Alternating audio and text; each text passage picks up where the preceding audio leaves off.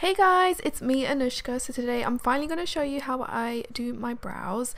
And uh, it's so easy and quick guys. So let's jump straight into it. I'm going to first use my Veet Dermaplaner. It's kind of like a razor but it's a derma dermaplaner and I just kind of shave on top of my brows first um, and then I take these little mini cuticle scissors I think they're cuticle scissors and I kind of lift my brow hairs upwards and I just trim the top just to make it straight, you know? So that when we pull them up, they don't go crazy all of the all over the place because my brow hairs are so long, guys. Um, so yeah, we're just cleaning it up. Don't take too much. Don't go too overboard with this step. so then I'm going to take my tweezers and I'm just going to pluck some stray hairs. I don't get that much anymore like I used to. I think I've plucked them so many times, but I barely get any hairs around this area. But I do get some random ones here and there. So I'm just cleaning that area up.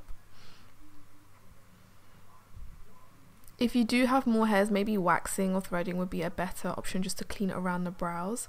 So now I'm going to use some Got To Be glue gel. Oh my god, this is literally the star of the show. I take a little pea-sized amount, even less, on a spoolie and I just brush this through my brows and lift them up, like kind of brush them upwards just to make them look uh, I don't know, like spiky or, or lifted. I don't know what it does but it gives that laminated brow effect. Now, if you guys know of any good at home lamination brow kits, let me know because I'm definitely up for trying it. I'm a bit scared, I'm not gonna lie, but look at that effect. Um, so I do this every time I do my makeup. I'm just trimming a bit more here, guys. But um, if a brow lamination kit that I can do at home is better and I don't have to do this all the time, then I'm definitely up for trying it. So um, I want to uh, kind of wipe away the excess gel on my skin because makeup can sit a bit weird on it so I try to remove any excess as possible and now I'm going to use my Tarte Shape Tape Concealer in Tan Sand. You can use any concealer that you like. This one is my personal fave, you guys know already. And I'm going to use a Sigma eye cream brush, which I'll link in the info box. It's so good at carving your brows out. And yeah, I'm just carving them out really like I usually do. You can totally skip this step. I've definitely done a lot of looks here on YouTube and on Instagram where I skip this step and it still looks really good but this just brings it to that next level and makes it look really clean and really you know tidy and slick.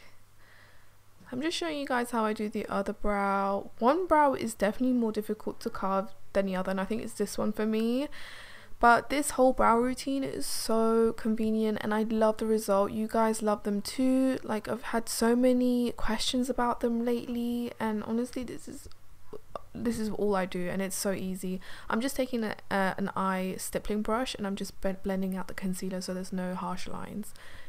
So now I'm going to use the NYX micro brow pencil in the shade black and I really like this one because it's super thin and it's also really affordable guys. So yeah I barely do any like um strokes I would say. Like I do barely any guys just two or three where I feel like there are sparse areas. And yeah those are the brows. Oh my god wasn't that so quick Alright guys, my makeup is done. If you want to know how I did like my makeup, it will be on my Instagram, so make sure to follow me on there. Um, but yeah, those are my brows. It's so, so easy. I hope you found this video helpful. I don't know, I just feel like my, my brows have been microbladed. They just look so clean and crisp and you can see the hairs, which I really, really like. So yeah, that's how I've been doing my brows. It's so easy guys, nothing special there's barely any like makeup on there so yeah give this video a thumbs up subscribe if you haven't already and i will see you in my next video!